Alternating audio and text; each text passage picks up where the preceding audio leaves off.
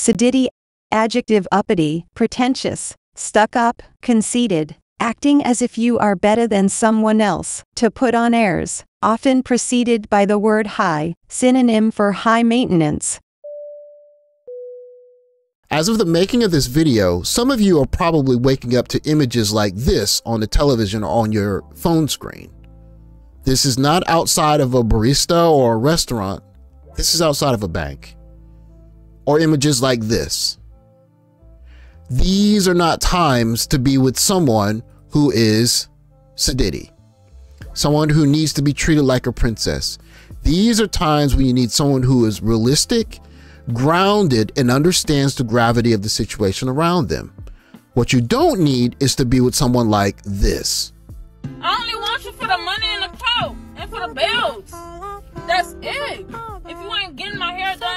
ain't getting my nails done, if you ain't doing nothing for me, then I don't need you here. It's not 50 50, it's not 80 20, it's 100% to zero. Or this. So I noticed I was going a little crazy with Uber Eats. I was ordering this delicious Greek salad almost every single day instead of just like making the salad myself and not being content. Or this. Hey fam, what's the one service you pay for every single month and you have no buyer's remorse? Uber Eats, mm-hmm, for sure. Uh-huh. Mm, mm-hmm, mm-hmm. Mm. Worth it. $50 for some chicken wings. Mm. Time for physics. For those of you who did not pay attention in physics class, entities like force, acceleration, uh, velocity, these are vectors. And one thing about vectors is when two vectors are going in the same direction, they add together. So as you can see in the first instance, 5 plus 5 is 10.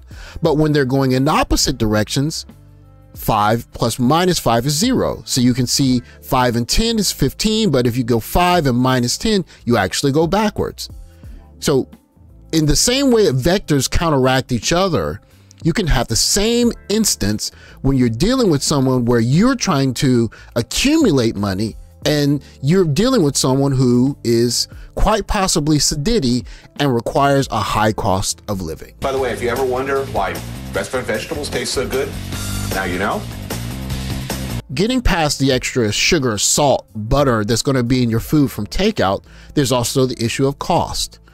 So this is Forbes article from about four or five years ago talking about how much money you save cooking at home. We analyzed data from Priceonomics Customer Wellio, a platform that breaks down millions of recipes into single ingredients matching those to grocery items from local stores. And they did this for 86 popular dinner recipes, $20.37 eating at a restaurant per serving, $12.56 using a meal kit service per serving, $4.31 per serving eating at home.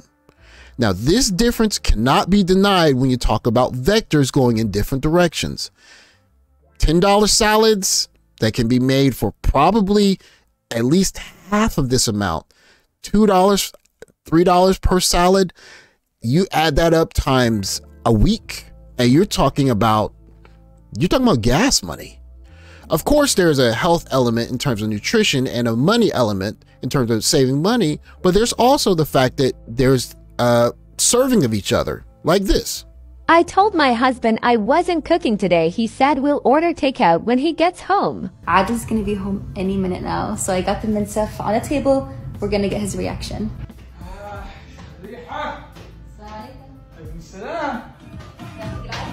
الله يزيدك عافية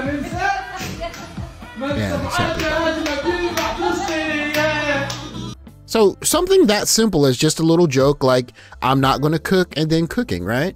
If times are going to move to where they look like they're going, you don't need opposing vectors in your household like this. Why don't the women want to cook and clean for the men anymore? Because they're tired. Because we're tired. Because we work the same 8, 9, 10, 11, 12 hour shift that you work. Don't cook for him because he'll cheat on you with the strength he got from your food.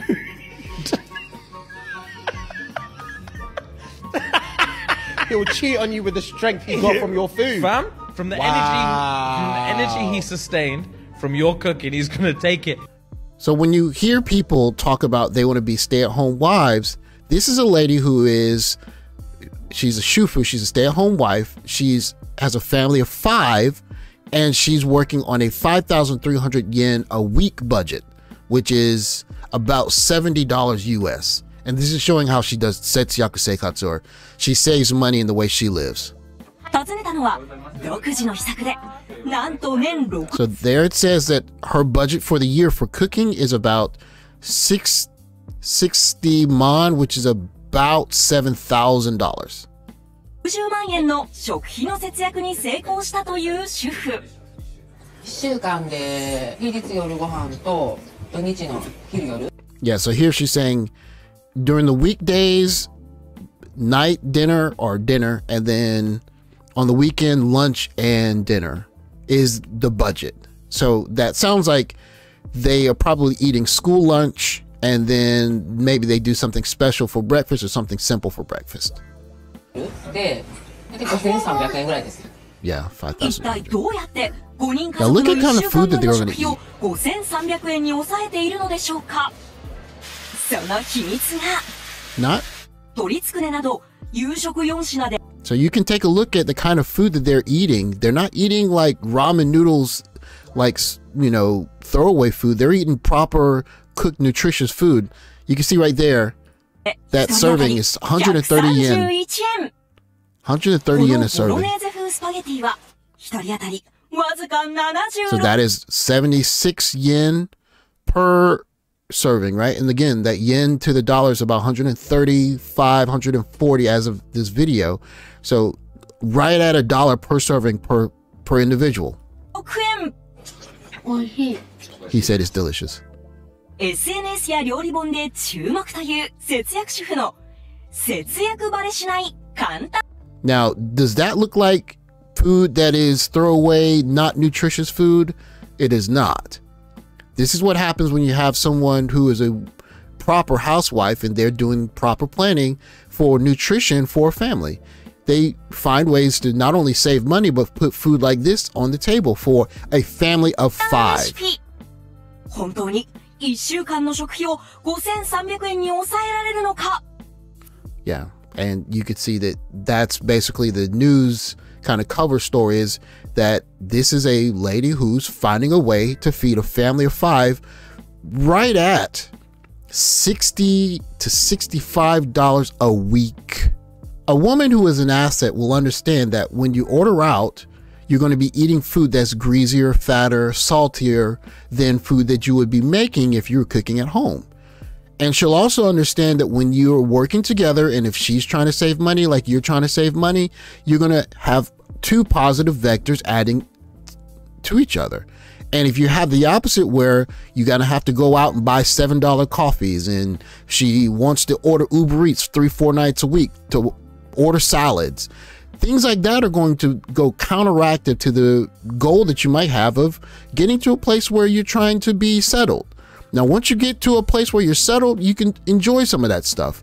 But if that is a prerequisite to the relationship, that is a dangerous precedent for where your relationship might end up going.